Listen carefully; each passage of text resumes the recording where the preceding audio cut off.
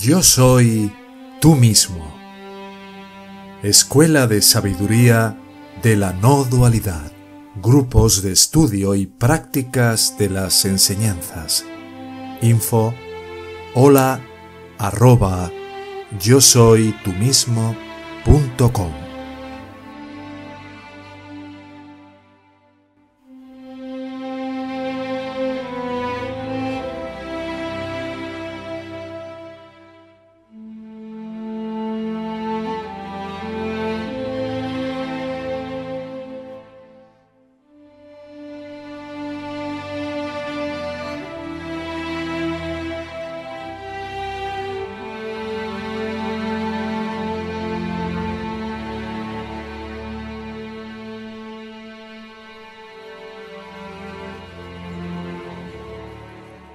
alguien que está muy identificado con su cuerpo, con su imagen, etcétera, decir, no, no, esto no tiene forma y tal, venga, olvídate de las formas, olvídate de los.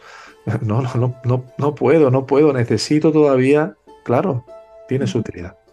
Por eso aparece en la forma de una imagen, por eso, por eso aparece en la forma de un cuerpo. Porque tiene que ser algo conducente, algo que facilite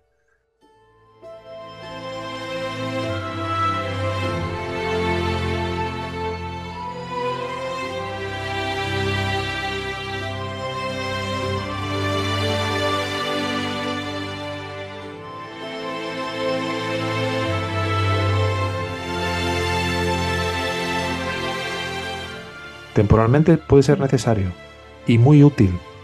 Y muy útil porque si tú eres capaz de expresar eh, la devoción por una determinada forma que consideres divina, sacra, eso va a hacer que empiece a reverberar en ti ese amor que decimos que es tan importante y tan necesario para conducir la flecha de la atención hacia el corazón espiritual. Pero uno tiene que ir poco a poco, ¿no? Sirviéndose de ese amor que uno experimenta por la forma de Krishna, de Buda, de Ramana, de Robert, de quien sea, para luego ir poco a poco llevando ese amor que uno experimenta hacia ese silencio donde uno reconoce de que ese reflejo se termina poco a poco subsumiendo en su fuente de calor, en su fuente de amor.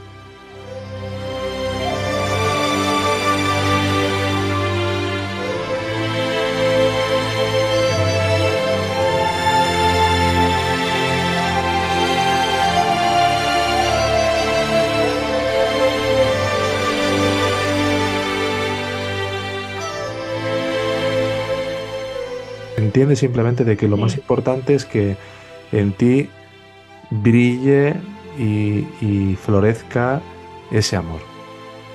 Y si ese amor todavía para que brille, para que esa llama ¿no? de la hoguera mm, aflore alto, necesitas verlo a través de esa imagen, que esa imagen te conecte con ninguna, con lo que es la ausencia de forma. Mientras lo necesites. Te llegará un momento en que sientas ese candor y ese fuego de, pura autoconciencia, de pura presencia divina, con tal intensidad que te darás cuenta de que ninguna imagen puede representarlo.